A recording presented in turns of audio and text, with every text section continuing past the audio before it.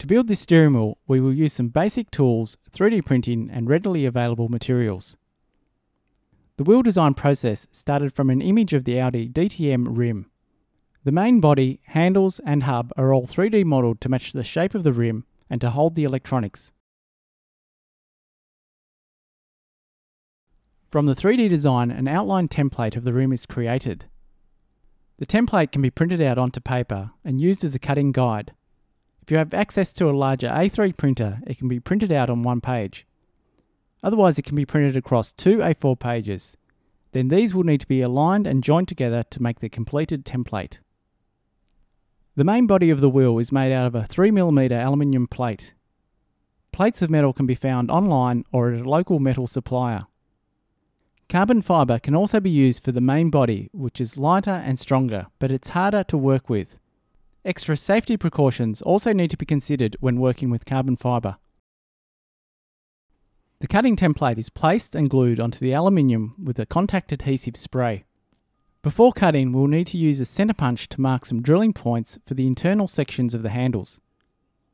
Then select a drill slightly larger than the blade and drill two or more holes in the internal area. Next we can begin cutting out the internal sections using a jigsaw with a metal cutting blade.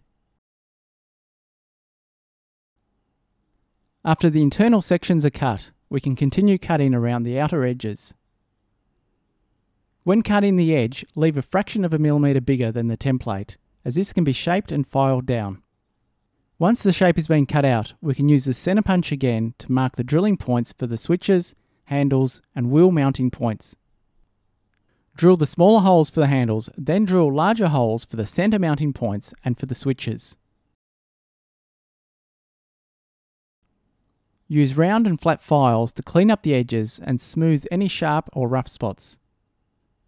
Then after filing, use sandpaper on all the edges for a clean finish. We will need to make and prepare four handles, two for the front of the rim and two for the back.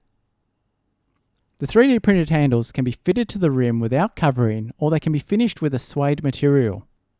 Lay out the suede and with a pair of scissors cut around the handle, allowing extra material around the edges. Brush contact adhesive onto the surfaces of the 3D printed handle. Then carefully place the suede onto the handle and work the material around the edges, adding more adhesive with a brush where needed. Keep working and shaping the suede around the handles and then add relief cuts around the radiuses and any tight points. Fold the material over to the back of the handle and glue in place. Then trim off any excess material to finish. Before covering the front handles, insert the nuts and add a small drop of superglue. On the covered back handles, make three small cutouts with a utility knife for the bolts to pass through. The handles can be set aside to dry and we can continue with the wheel build. At this stage, we can choose to leave the rim with a natural metal finish, paint, or cover with a vinyl wrap. To wrap the wheel with a carbon vinyl, cut a piece larger than the metal plate, then apply. Next, with a sharp utility knife, trim the edges and carefully cut out the holes.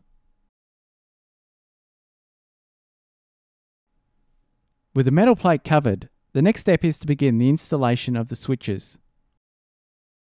Using the wires that are provided with a USB joystick board, cut off the spade terminals with a pair of cutters. Then strip the ends of the wires, leaving the white connection plug attached, as this will be used to plug the wires into the board. Cut lengths of heat shrink measuring from the switch terminals to the center of the wheel. Next cut larger pieces of heat shrink to cover the switch terminals. On 10 sets of wires, place and prepare one longer piece and two larger size pieces of heat shrink. We will leave two sets of wires uncovered as these will be internal and used for the paddle shifters. The next step is to work on soldering the wires to the terminals of the 10 switches. With all the wires soldered to the switches, we can move the heat shrink and cover the switch terminals. Apply some heat with a heat gun or with a butane torch to shrink the tubing.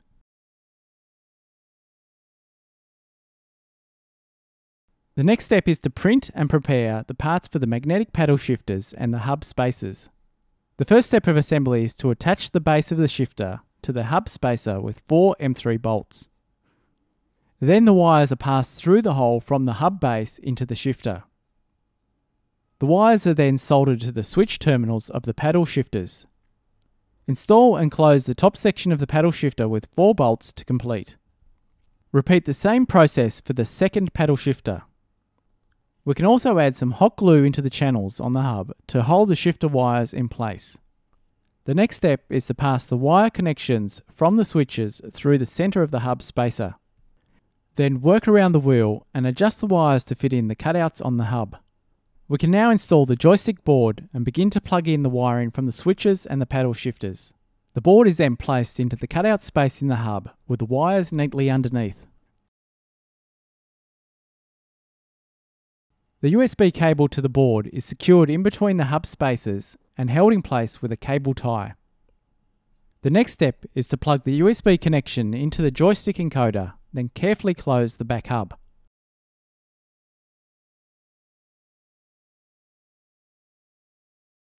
While holding together, pass the bolts through the front of the wheel and place a nut on the back of each bolt.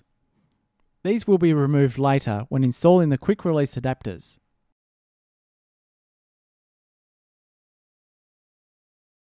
To install the handles onto the rim, place the handle with the pre-installed nuts on the front and then place the other matching handle with the bolts on the back and tighten.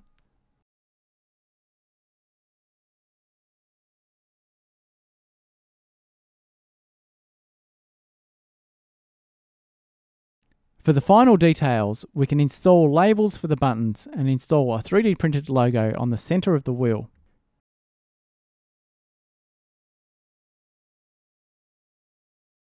The buttons and shifters on the wheel are tested by connecting to a free USB port on a PC. Then opening the USB controller's properties to check the functions. For compatibility, the wheel uses a standard 70mm bolt pattern. This means with different adapters, the wheel can be fitted to suit Logitech, Thrustmaster or Fanatec wheelbases. The rim is easily installed onto a Logitech base using a quick release clamp adapter. This can quickly attach the rim to the wheelbase for use. For installation and fitting onto a Thrustmaster wheelbase, a screw type quick release adapter is used.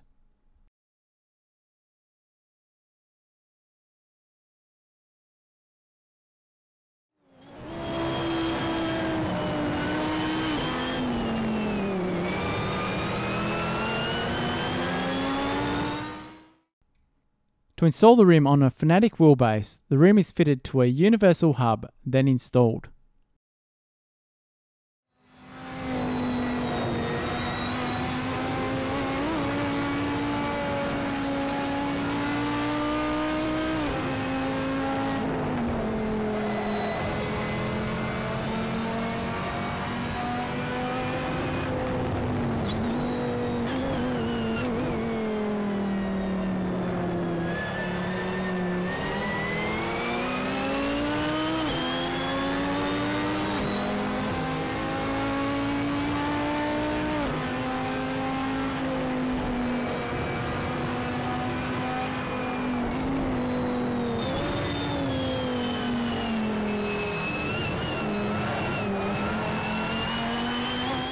With a few basic tools and materials, you can build your own custom steering wheels for a racing simulator.